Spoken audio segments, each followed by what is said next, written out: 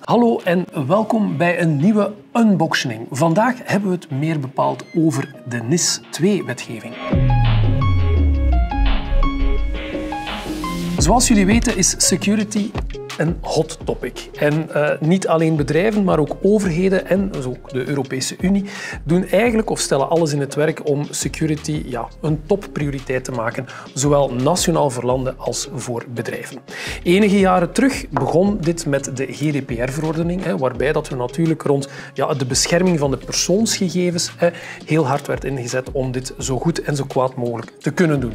Iedereen kent natuurlijk GDPR, maar ja, natuurlijk hè, leeft dat nog is dat nog actief? Ja, dat is het zeker. En bedrijven worden nog altijd geacht om natuurlijk de GDPR-regels te volgen. Naast de GDPR-regelgeving hebben we toen ook de NIS-regelgeving gehad, wat eigenlijk meer bepaald was of bedoeld was voor ja, essentiële bedrijven. Daaraan denken we dan voor het banken, uh, watermaatschappijen, uh, elektriciteitsbedrijven, uh, dienstenbedrijven zoals ja, internetproviders zoals een Proximus en Telenet en dergelijke meer.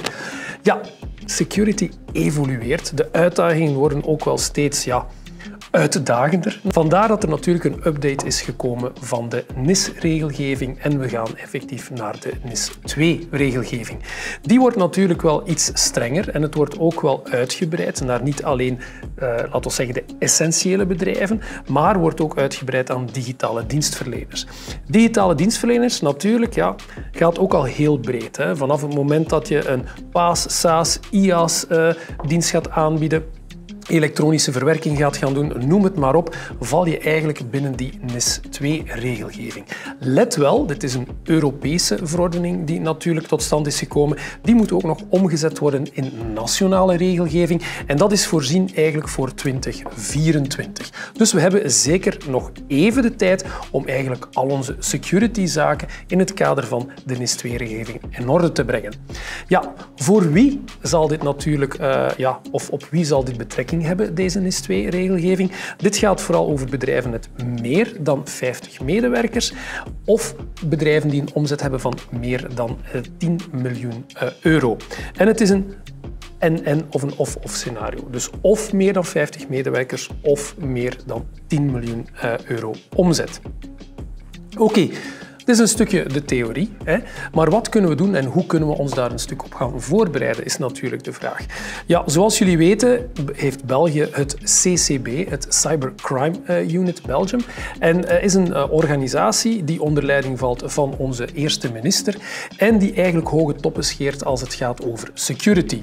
We mogen trots zijn als dit kleine Belgelandje, want het CCB staat op nummer 1 als het gaat over securitybeleid ja, ten opzichte van alle onze naburige landen binnen Europa.